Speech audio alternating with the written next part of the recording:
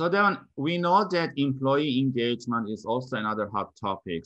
We know that employees leave their job due to having a bad uh, manager and not the job itself.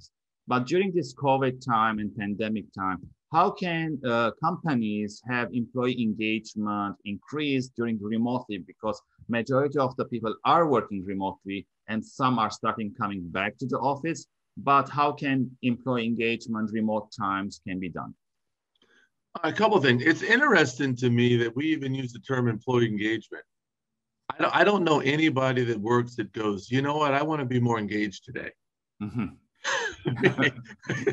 yeah. You know, we're here like, you know what, let's let's engage each other. No one talks like that. Yes. Even the term sounds very steric and general and prescriptive and artificial mm-hmm. and jargony.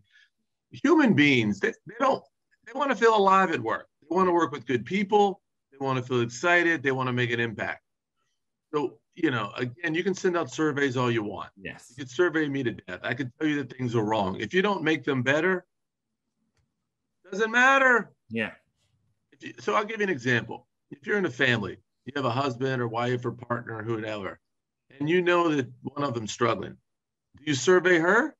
no, talk to her. And so what I'm suggesting is I'm not discounting surveys. Hmm. surveys are just data. Yeah. The challenge is, is that we continue to do surveys and we don't change anything. If you look at the Gallup data globally, yes. we are in a world of hurt there are quite a few folks that are continuing to show that they're unhappy or actively unhappy at work. They don't get a sense of meaning or purpose. And so, am I uh, bullish on where we're going?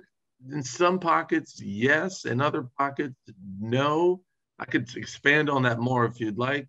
Yeah. Just the way we even approach the subject around employee engagement feels artificial, sterile, and disingenuous. So, do you think that giving feedback on a constantly basis or on a weekly basis is better than doing a survey every quarter or every six months? So, so I do like real time feedback. If you watch anything that like sport, yeah, right. I mean, they give feedback. If you play, if you watch an NBA this right now, or football, or watching Europe soccer, they give feedback real time. Mm-hmm. Right. If the person makes a great pass or a great play, they celebrate, they recognize, they appreciate for some reason at work, we do performance reviews. We do it annually. Sometimes we do it more. So to answer your question, yes, real-time feedback. Yeah. You and I have a great meeting today, a great week, we should have some intentionality to let you know where we're progressing. I would suggest, and some organizations are there, they've gotten rid of the annual performance review and they're doing them quarterly, sometimes monthly. Yeah. Yeah. So I'll give you an example. Do you know how hard it is for me, you, and others to reflect back 12 months, try to write specifically on all the things I did. Yeah, it's difficult. I can't remember what I did yesterday. Yeah. Especially, you know, when you're having, uh, because we're human beings, sometimes we feel at that moment, you know, gratitude or at that moment that sadness, and you want to express it. And then after a few days, you forget it. So having that constantly uh, feedback or communication with the manager is important. Absolutely. Any great relationship you have in your life is one common denominator active, frequent, positive communication. Yeah.